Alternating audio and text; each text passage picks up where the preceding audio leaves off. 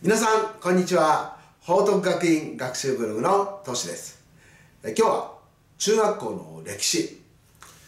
桓武天皇と長岡京についてお話しします、えー、桓武天皇というと平安京に都を移した天皇ですけれど平安京の前に長岡京という都を作っていました。その桓武天皇と長岡京についてお話をします。えまず桓武天皇が天皇になったいきさつ。そこから入りますね。まず聖徳天皇が独身のまま跡継ぎを決めないで亡くなってしまいました。ね。ですから次の天皇誰になるかまだ決まっていないということですね。そんな中で藤原桃川一族が白壁王を皇太子にするという偽の遺言を発表して62歳の公認天皇が誕生します。この公認天皇というのは天智天皇の孫にあたる人です。天智天皇大化の改新の時の中野大江の王子のことですね。奈良時代はずっとこれまで、えー、人心の乱で勝った天武天皇の系統。その系統で天皇が引き継がれてきましたがここでまた天智天皇系に系統が変わっていきます。で公認天皇とその皇后井上内親王。ね皇后は井上内親王というんですけれどこの井上内親王というのは、えー、聖武天皇の皇女です。つまり娘ですね。でこの公認天皇と井上内親王の間に長部親王。という人がいてこの人がまず皇太子になりました。えしかしこの皇后と長部親王が公認天皇を呪い殺そうとした。として幽閉され地位を剥奪されて死んでしまいます。これは公認天皇を天皇にした藤原桃川が仕組んだことだと言われているんですね。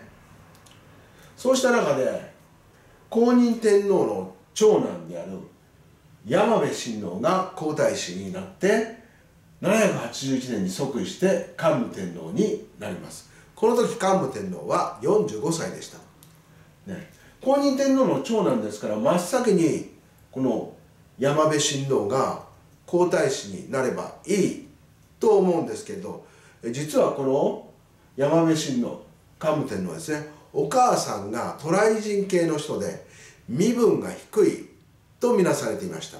そのため桓武天皇は幼い時お寺に預けられてそこで生活をします。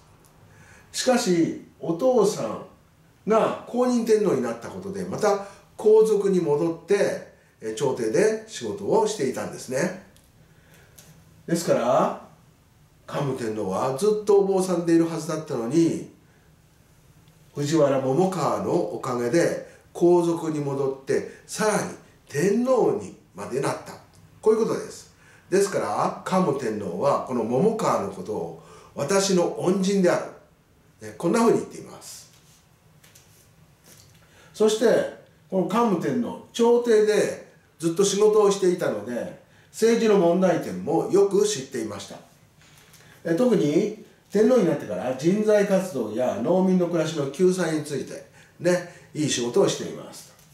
人材活動はどういうことかというと、えー、才能のある人、ね、正直な人を役人に取り立てて働かない人不正をした人悪口を言う人この人をクビにしました。ね。そんなことをしました。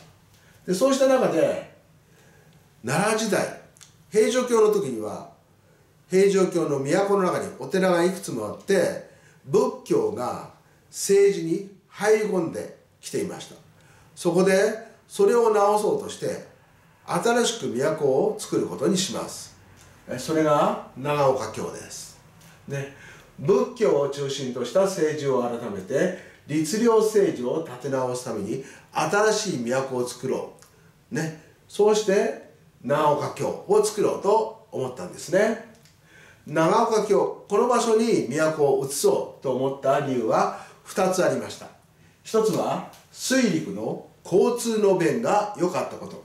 もう一つは桓武天皇の母お母さんと都づくりの責任者の藤原種継この藤原種継という人は桃川の甥にあたる人ですけれどこのお母さんの実家があった。だから地元の協力を得やすいと有力者の協力を得やすいと。こういうことで長岡京に都を作ることにしました。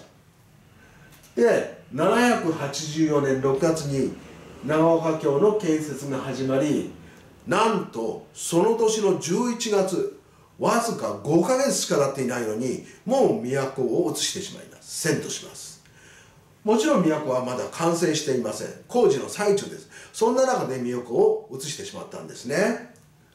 そうするとその翌年やはりね急な変化を嫌う人たちはいました。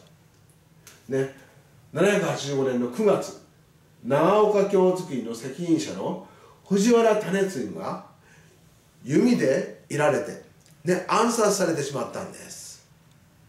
この暗殺の犯人、ね、藤原氏を妬む大友氏と佐伯氏。